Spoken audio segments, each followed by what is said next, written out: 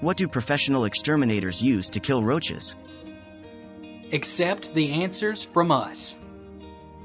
Gel bait insecticides. Today, pest control professionals most often use gel bait insecticides to control and eliminate cockroaches. This requires the placement of small beads of gel bait in areas where the cockroaches are known or expected to live, travel, or feed.